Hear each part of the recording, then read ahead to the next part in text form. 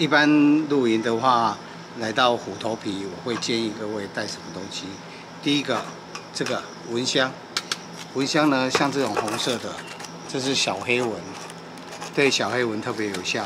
那这是一般的檀香，就一般的蚊子，还有就是绿色的，一般口皮妈妈用。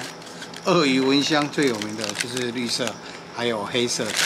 那不同的时间点，不同的用法。像这个小黑蚊就会怕这种红色的，确实有效。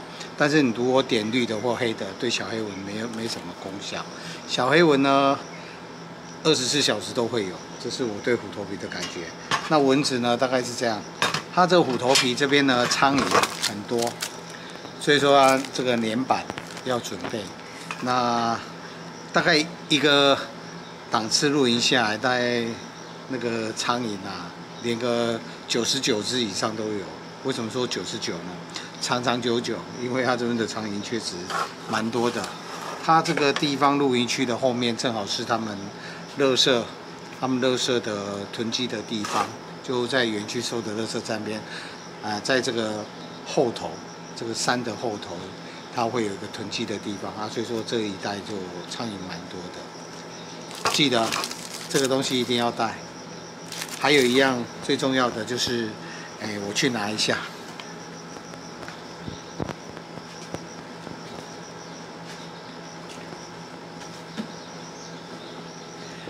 推荐各位，这个东西是蚂蚁。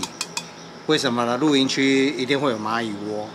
蚂蚁窝呢，基本上你如果把那个蚂蚁啊，啊不把它消灭的话，对你来讲比较不 OK。这个蚂蚁窝呢，就是一次这一瓶大概一一百块台币。我不是帮他打打广告，我没有做业配。截至目前我没有在做业配啊，我只是纯粹好东西跟好朋友分享。我希望看影片的都是我的好朋友。那这个呢，去上厕所的时候记得带一下。为什么？就是这个还其实还有提把，它这边有提把，我这个是把提把拿掉。去厕所的时候带去啊，洗个澡带去。先把里面的蚊虫驱赶之后再洗。最怕的还是小黑蚊啊，在虎头皮这边。那我们一般的话会准备这种，这个我就不告诉各位了。类似这种，类似这种，这个是香港的保鲜兰油之类凉凉的，大家咬到之后赶快擦一擦。或者你可以准备万金油啊、绿油精等等的。这是我衷心的跟各位讲，你到虎头。要露营的时候，记得要带这些东西。好，大致上是这样。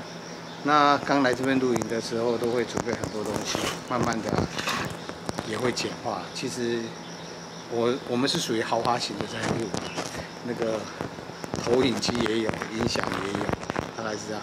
那音响呢，如果要放的时候也不敢太大声，除非平日都没人，那时候才敢放大声。好了，大概就是跟各位讲，来这边露营要准备一些基本上的东西。喜欢我的影片，请记得帮我订阅我的影片，同时开启小铃铛。有你的支持，有你的分享，我的影片，我才有动力继续拍片。